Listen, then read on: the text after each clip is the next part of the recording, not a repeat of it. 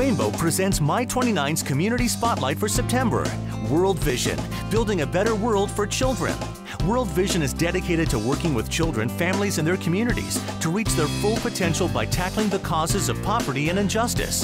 In Minnesota, World Vision works with local organizations to provide children and families with food, clothing, school supplies, and more. To learn more about World Vision, visit worldvision.org. This month's Community Spotlight is presented in partnership with Rainbow Foods, living up to your life.